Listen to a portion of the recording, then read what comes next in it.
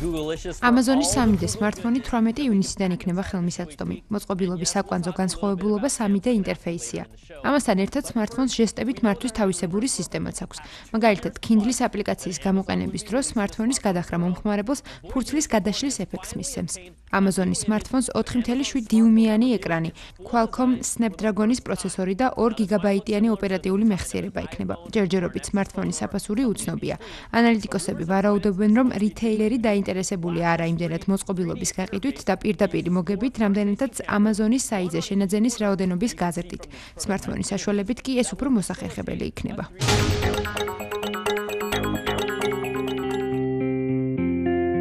სტატისტიკური მონაცემებით მილიარდ ნახევარზე მეტ ადამიანს თმის ცვენის პრობლემა აქვს.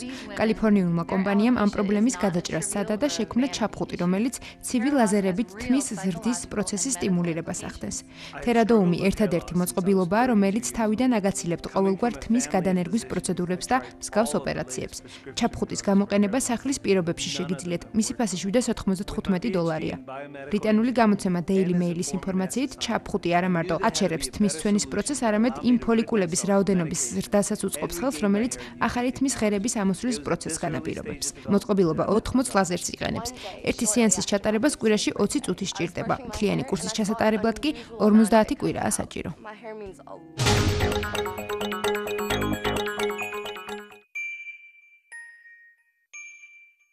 ბრიტანელმა გამომგონებელმა ჩარლი ფრენსისმა უნიკალური მოწყობილობა შექმნა, რომელიც ნებისმიერი კერძის არომატის შეგრძნების საშუალებას გაძლევთ, ისე რომ თქვენ დღიური კალორიის მიღების ნორმას არ დაარღვევთ. Edible Mist Machine აწარმოებს სხვადასხვა აეროზოლებს სხვადასხვა გემოთი დაწყებული ბეკონის არომატით დამთავრებული ვაშლის პეროგით. ჩარლს ფრენსისის განმარტებით მოწყობილობას შეუძლია 200 სასურველი არომატი შექმნა. მისი მოხმარება საკმაოდ მარტივია. შექმნილ არომატს თქვენ საწრუპის მეშვეობით აგემოვნებთ.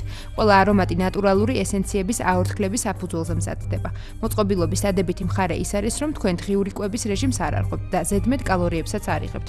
ჯერჯერობით ბრიტანელი ტექნოლოგიის გამოგონება არ იყიდება.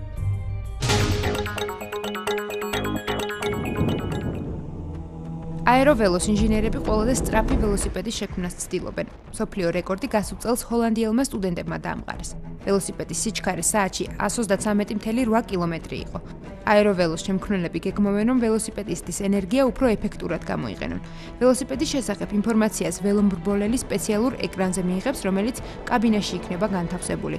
შემქმნელები ვარაუდობენ, რომ საათში ახალი ველოსიპედი 140 კილომეტრის სიჩქარეს განავითარებს.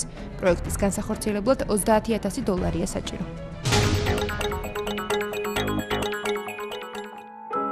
კომპანია Google-მა ახალი პლანშეტი წარმოადგინა. პლანშეტს, რომელიც პროექტ Tango-ს ფარგლებში შეიქმნა, 7 დიუმიანი ეკრანი აქვს, 4 გიგაბაიტიანი ოპერატიული მეხსიერება და ის ორი კამერით არის აღჭურვილი. მოწყობილობა Nvidia-ს Tegra K1 პროცესორით სარგებლობს და ამასთანავე მას Android-ის KitKat ოპერაციული სისტემა აქვს. პლანშეტის ღირებულება 1024 დოლარი იქნება. ჯერჯერობით უცნობია რა რაოდენობით გაიყიდება Google-ის ახალი პლანშეტი. მისი ოფიციალური პრეზენტაცია თვის ბოლოს იგეგმება.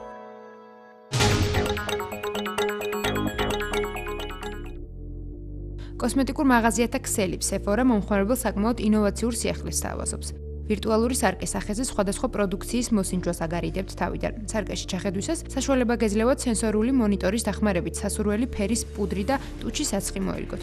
სარკეში ჩახედვისთანავე მონიტორზე თქვენი მსგავსი 3D გამოსახულება ჩნდება, რომელზეც ყველა პროდუქტის მოსინჯვა შეგიძლიათ. ამით პირველ რიგში სახის კანს გაუფრთხილდებით და ამასთანავე დროსაც დაზოგავთ.